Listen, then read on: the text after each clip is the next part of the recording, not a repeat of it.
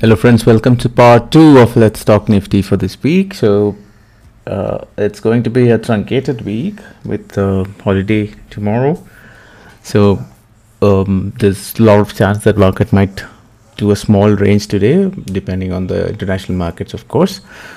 So, the key levels for today are uh, if market opens gap down then there is just a, right now we are in a very strong support region right? So if you look at the entire thing for the last few days you can see how nicely it has been following our levels right?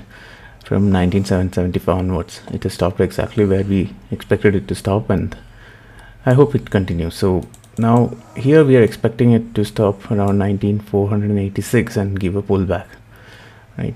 Uh, so that is my expectation and market could go up to 19580 19590 and if for some reason we get bulls coming in there then we can get 19682 so uh, our general idea would be let's wait for market to open and uh, sustain 19486 right?